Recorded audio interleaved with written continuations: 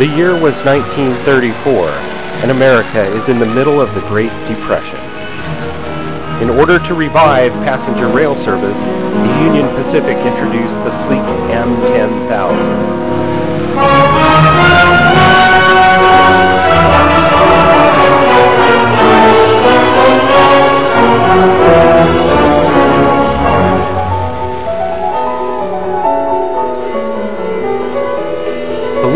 Streamliner captured the American imagination. Newsweek described the M10000 as a great bulbous-headed caterpillar, but according to one writer, the train looked more like a snake as it sped along the track.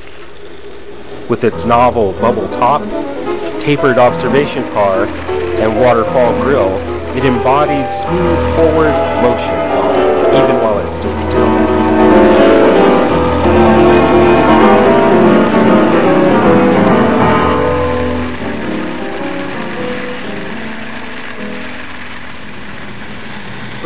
Two years later, in 1936, Marx introduced the M10005. According to Greenberg's guide, the M10005 was produced all the way up until 1954. Marx also produced steam-powered streamliners such as the Commodore Vanderbilt and the New York Central Mercury starting in 1938. We'll highlight both these trains in a later episode.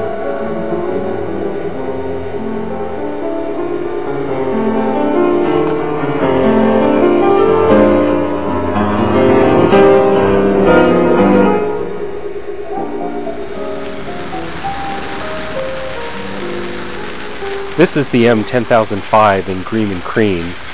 This is one of my favorite trains. It's so smooth running, very sleek.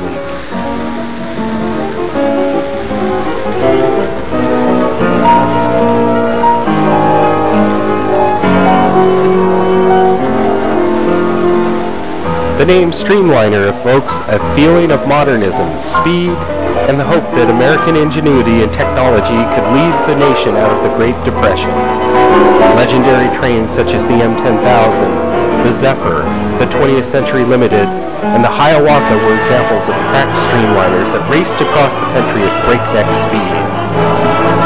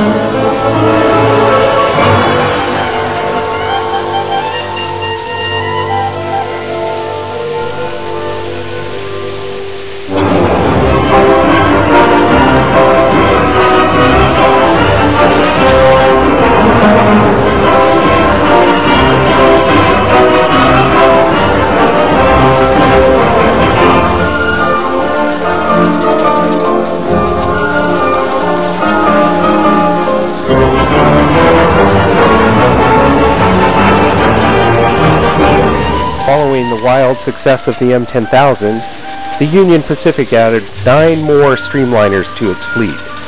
The M10000 had accomplished the goal of reviving and injecting excitement and glamour back into rail travel. One awestruck man was quoted as saying, they don't really run this Union Pacific train, they just aim and shoot it.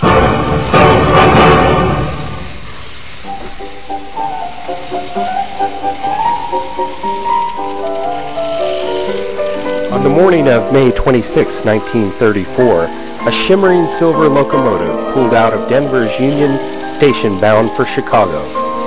The Zephyr was unlike any train seen before.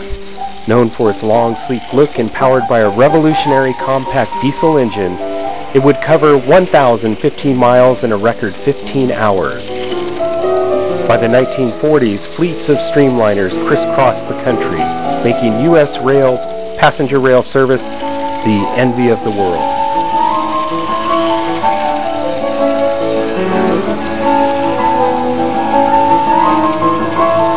American Flyer entered the 1930s with the introduction of a cast aluminum Burlington Zephyr.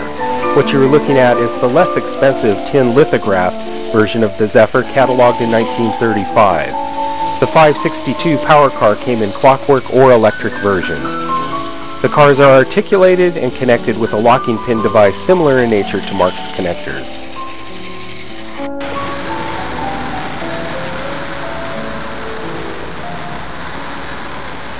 This is a version of the Marx M10000 in Canary and Cream.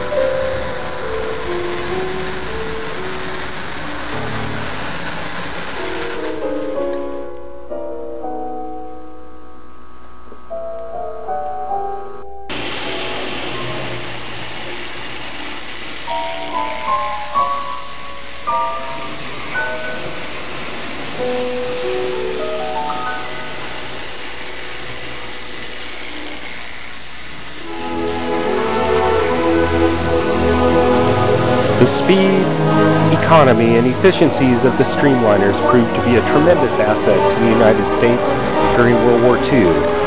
Trains carried 90% of the defense freight and 97% of the troops.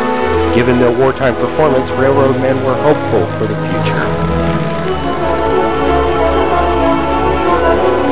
But the optimism was short-lived. In the decade following the war, Washington launched massive highway building projects and hundreds of cities built new airports. Railroads were hit hard. In 1954, 2,500 intercity passenger trains were in operations. By 1969, there were fewer than 500. Today, there are less than 100. Well, that's the Marx Streamliner story. Hope you enjoyed, and as always, have fun out there.